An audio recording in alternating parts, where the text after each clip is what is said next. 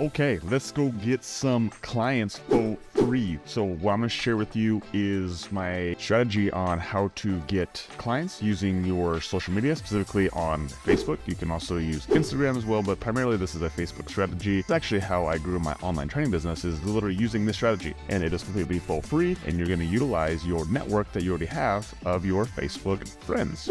So we're gonna do a couple different types of posts on your on your profile. So this is what I call the value post. So this is this is the post that I recommend leading with. I recommend doing multiple posts like this, but then so so basically do like you can do the Gary Vee method, which is jab jab jab right hook. So basically you do three value posts and then you do an ask post right? And so you can do these like every single day. I'm just going to give you an example of what one looks like. And so a value post is you giving some information and giving some value before you do an ask, right? So here's an example one. You literally can can give them all this. You can copy it, do whatever you want with it, but it basically just gives them some value up front, and then at the very end, it says, "Hey, I'm offering a free cleaning voucher for my friends for limited time. So if you want to home this person clean home without lifting a finger, come below to learn more." Right? So it's basically just a value post with a like a small call to action at the bottom.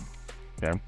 Here's a photo. Again, you can use whatever photos you uh, desire on these. I'm just trying to give you some examples of how to think because ultimately you're to need to do more than just one of these. So give me, I'm giving you one example post, but you're to be doing these every single day, every single day until you get overwhelmed with clients. Okay. The next kind of post you're going to do is an ask post. So now you literally can just go right to the point, right? So it's like, hey guys, I just started a residential cleaning company. I need your help. I'm looking for five of my Facebook friends to give a free cleaning voucher. I'm looking to get more testimonials. So if you're looking to come home to Sparkling Home without lifting a finger, comment down below and I'll fill you in on all the details. Get another example photo here. So again, this is just an ask post directly to the point. Here's what I need. Okay. So both of these kind of posts work.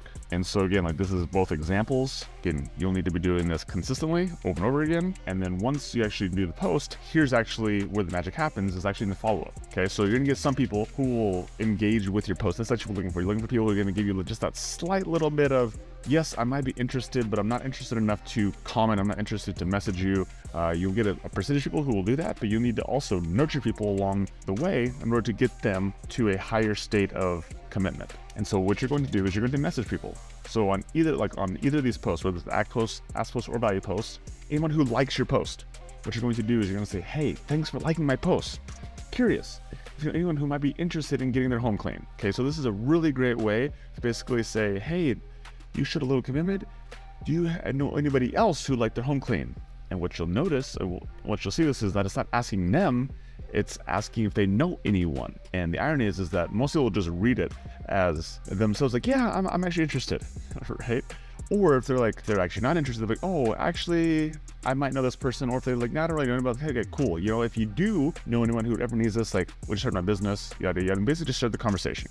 Okay. So again, while you get a percentage of these people who will also raise their hand and say, yes, I'm interested, or you'll get a percentage of people who actually will give you referrals, some of these are just opening the conversation up. Okay. This is like dating. Like we just need to actually talk to somebody in order to move wrong to the first conversation, the second conversation, to, to actually go on a date, you go on the second date, third date, and eventually get married. Okay. It's a sequence. Anyone who comments on your post, again, so a level of commit, someone who comments is a little bit more committed than someone who just likes. So someone who comments on the post, you reply to their comment on the post, right? Because you want that engagement, but you also will message them and say, hey, thanks for commenting. Because they, at this point, they, they should basically have said they raise their hand, right? So what kind of clean are you looking for? A deep clean or general clean? I mean, this is where you open the conversation and then you move through your lead nurture script. Really simple.